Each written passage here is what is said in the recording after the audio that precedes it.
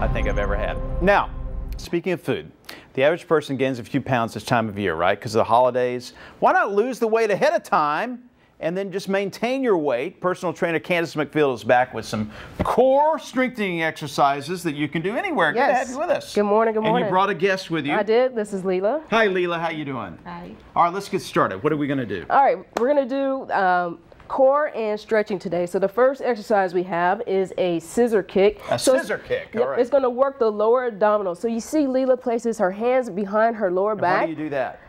I'm sorry? Why do you put your hands Oh, to back? support your lower back, so it takes the pressure off I the lower I back. So this way, this exercise here is working your lower core.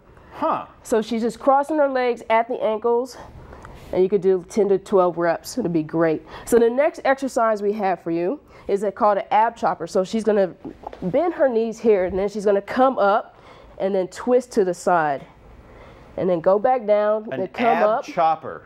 ab chopper, twist to Now, the do you side. get help while you're doing this? So you partner? can. So here's a modified version. I'll have her grab my mm-hmm. hands. So if you need a little bit help, twist. So she goes back down, she comes back up, and twist to the side. So that small twist to the side there is working the obliques. I guess you shouldn't be afraid if you can't do all this at once. Some people may not be in good enough shape to do that. Right, and, and you may not be. So that's why we have the, Mm-hmm. the modifications. Like if you have somebody at home you could do this with, like I said, you can have them, you can grab their hands and then help with that twist up, just So, like how that. many reps do you do? So, like I, I would recommend 10 to 15 reps Mm-hmm. is a is a good range to start off with. So the next exercise we have is just a stretch, and we're gonna do the lower back stretch. So she's gonna lay back down.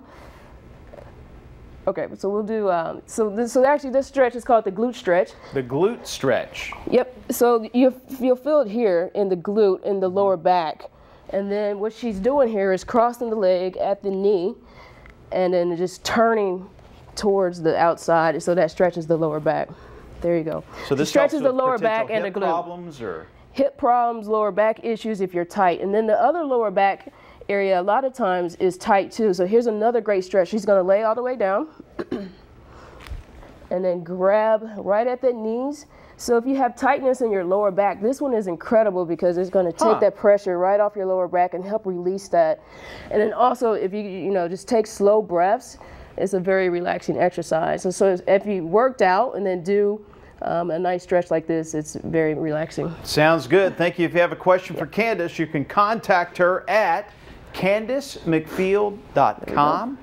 Lauren,